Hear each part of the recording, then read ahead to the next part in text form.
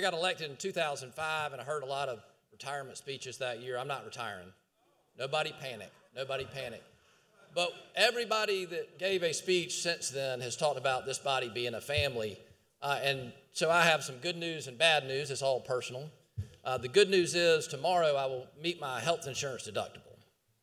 The bad news is that's going to happen as a result of a positive PSA, MRI, um, prostate biopsy. So I will have my biopsy removed. I'll be out two weeks. It's uh, very early stages, so it should be a cure. Uh, that's why the, we're doing the surgery so quickly. Uh, but I will miss y'all for two weeks. You will not want me here, and I won't want to be here. Uh, but I would appreciate y'all's prayers um, for me and my family while we're going through that, and um, I'm happy to.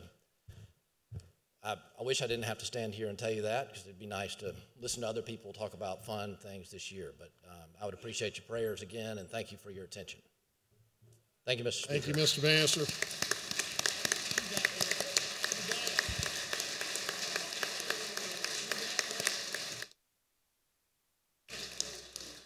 Mr. Bannister, we'll be praying for a successful procedure and look forward to having you join us here in a couple of weeks. So thank you.